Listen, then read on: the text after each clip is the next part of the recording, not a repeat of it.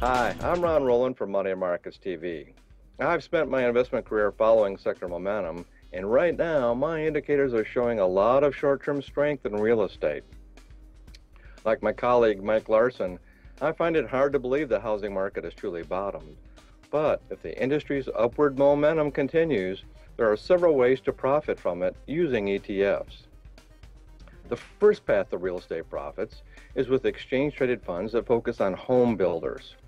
This is a very unpredictable business. Builders have to plan years in the future and market their homes very aggressively. Plus, their profits are largely at the mercy of economic forces they can't control.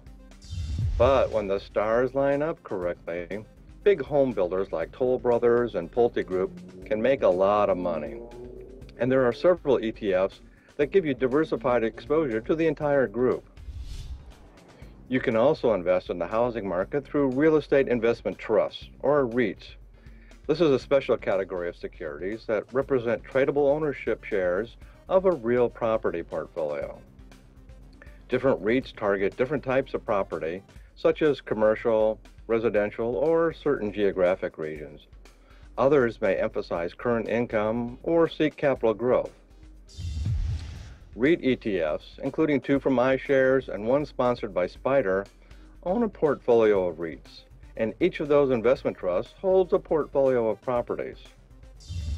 The third path to real estate profits is with mortgage lending ETFs. Securitized mortgage lenders own a majority of home mortgages in the United States, and ETFs that specialize in these nebulous pools of money effectively make you the lender. There's another vehicle closely related to these mortgage lending funds called the SPDR S&P Mortgage Finance ETF. It owns the common stock of companies involved in mortgage lending, which tend to be smaller banks and mortgage insurers. So there are four main ways to play a potential upswing in the housing market using ETFs. But what if you want to bet against the real estate sector?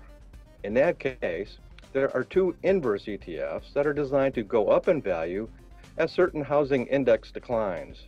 However, both of these funds carry built-in leverage, which means they can be extremely volatile. Inverse ETFs are trading vehicles. They're not designed to be buy and hold, so success with them depends heavily on your timing. With any of the ETFs I mentioned today, it would be wise to proceed cautiously. So, do your homework and good luck. I'm Ron Rowland from Money and Markets TV. Thank you for watching.